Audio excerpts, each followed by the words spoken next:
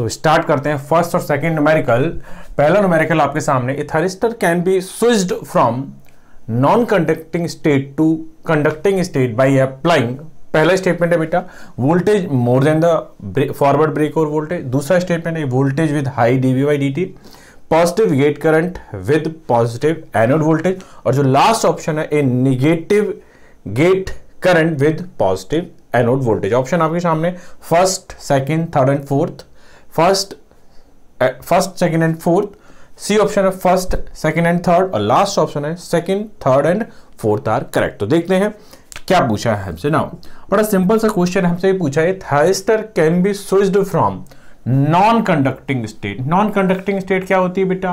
Forward blocking state forward blocking state to conducting conducting state that is called बेटा forward conduction state या अगर मैं बात करूँ ऑफ़ स्टेट से ऑन स्टेट को यानी कि जो हमसे पूछा जा रहा है ऑन स्टेट के कितने मेथड है।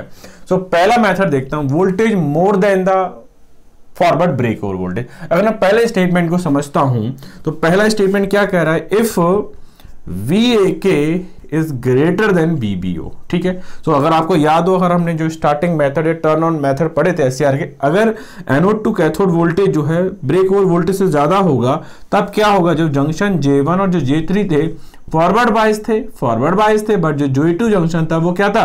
रिवर्स बाइस होगा। जैसे ही anode to cathode voltage break over voltage से ज़्यादा होगा जो J two junction reverse bias था।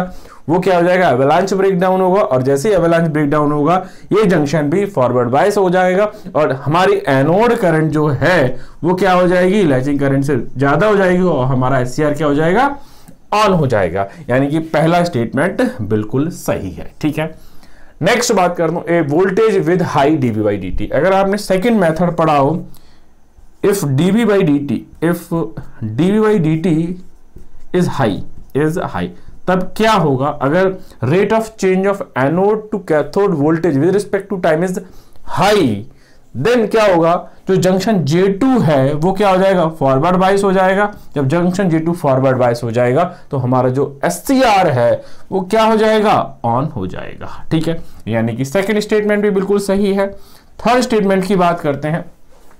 Positive gate current with positive anode voltage अगर मैं इस डायग्राम को बनाता हूँ तो आपका SCR तो बेटा ये रहा ये रहा एनोड ये रहा कैथोड और ये रहा आपका गेट करंट ठीक है? तो एनोड टू कैथोड तो ये प्लस हो गया और ये माइनस हो गया। तो positive anode to cathode voltage तो स्टेटमेंट में बिल्कुल सही लिखा है। Positive anode to cathode voltage third और फोर्थ स्टेटमेंट में। बट अगर मैं गेट कल गेट पल्स की बात करता हूँ तो क्या होगा बेटा? ये रहा आपका एक्सटर्नल रेजिस्टेंस जो कि करंट को थोड़ा सा लिमिट करता है, ये ई e और ये रहा आपका वी तो जो गेट करंट है दैट इज़ कैसी होनी चाहिए? दिस शुड बी पॉजिटिव तो यहाँ क्या लिखा है? चौथे ऑप्शन में तो नेगेटिव लिखा है स्टेटमेंट गलत हो गया। और यहाँ थर्ड स्टेटमेंट में क्या लिखा है? पॉजिटिव गेट करंट तो ये स्टेटमेंट बिल्कुल सही हो गया, यानी कि फ़र्स्ट सेकेंड और जो थर्ड स्टेटमेंट है, वो बिल्कुल करेक्ट है।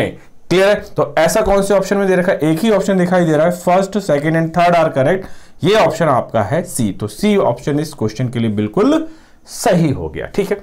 नेक्स्ट सेकेंड नंबर का क्वेश्चन देखते हैं। Consider the following statement S C R can be turn on by पहला पहला स्टेटमेंट हमारे सामने है।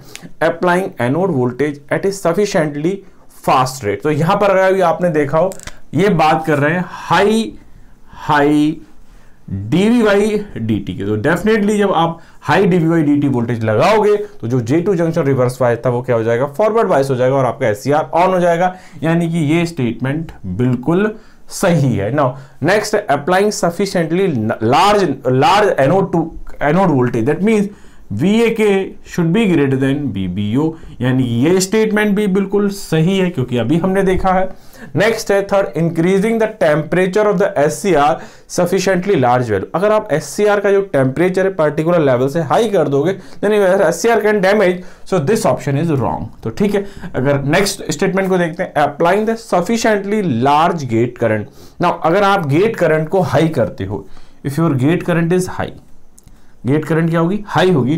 तो जो एससीआर है SCR is a is a charge controlled charge control device controlled device ठीक है? ना चार्ज क्या होता है बेटा? क्यू बराबर होता है I into T so for a fixed charge for a fixed charge if the magnitude of gate pulse if the magnitude of gate pulse is increase then the width of the width of the gate pulse is decrease clear है यहाँ तक? बात समझ में आ गई? तो जितनी ज़्यादा हम गेट करंट अप्लाई करेंगे, उतनी ज़्यादा पल्स हमें कम लगानी पड़ेगी, कम विद की, ठीक है? तो ये स्टेटमेंट भी सही है, यानी कि ये चौथा स्टेटमेंट भी हमारे सामने बिल्कुल सही है। तो सेकंड क्वेश्चन में मुझे क्या दिखाई दे रहा है? फ़र्स्ट भी सही है सेकंड भी सही है और फोर्थ सही है। थर्ड गलत है तो जहाँ जहाँ थर्ड है, उसको क्रॉस कर लो फटाफट। ये सारे ऑप्शन गलत हो गए। एक ही ऑप्शन मेरे सामने निकल के आ गया दैट इज़ सी तो इस क्वेश्चन का जो करेक्ट आंसर होगा, वो सी बिल्कुल सही होगा। ठीक है यहाँ तक? नेक्स्ट क्वेश्चन देखते हैं। नाउ नेक्स्ट क्वेश्चन देखते हैं। थर्ड क्वेश्चन है the normal way to turn on S C R is by पहला ऑप्शन है break over voltage B option है appropriate anode current and C option है appropriate gate current and last option is none of this ठीक है? So the best the best method best method to turn on, to turn on SCR is gate triggering gate triggering. ठीक है? Because gate triggering जो है just it train of gate pulse को हम apply करते हैं। इससे जो लॉसेस होते हैं, वो क्या हो जाते हैं?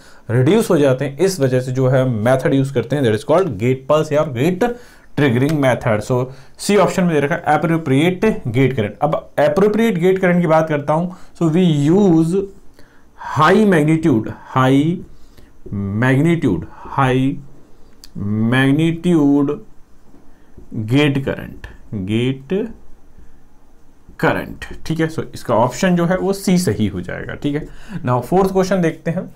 In an S C R supply voltage is generally fill in the blanks that of breakover voltage equal to less than greater than and last option है नन ऑफ़ दिस ठीक है?